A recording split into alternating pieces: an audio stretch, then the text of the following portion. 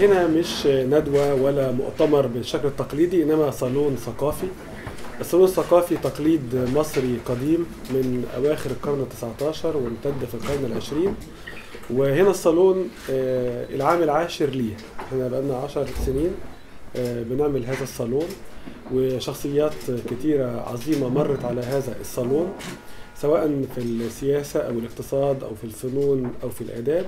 العالم كله دلوقتي بيتكلم على أجندة التنمية ما بعد 2015 وبالتالي بقوا أستاذ رئيس الجمهورية كان في نيويورك في سبتمبر 2015 وتم الإعلان عن أهداف التنمية المستدامة ما يعرف الآن بالاس دي جيز ال 17 ال 17 هدف اللي دول العالم التزمت بالسعي لتحقيق هذه الأهداف بحلول عام بحلول العام 2030 فكرة التنمية المستدامة هي إنها بتغطي ثلاث أبعاد رئيسية الاقتصادي والاجتماعي والبيئي ليه؟ لأن لو ركزنا بس على الاقتصاد ومشاكل الاقتصاد وأهملنا البعدين الآخرين لن يكتب حتى لو نجحنا في الاقتصاد وحلينا المشاكل الاقتصادية وقدرنا نعمل معدلات نمو ومعدلات تشغيل مرتفعة ومعدلات استثمار لن يكتب لها الاستدامة.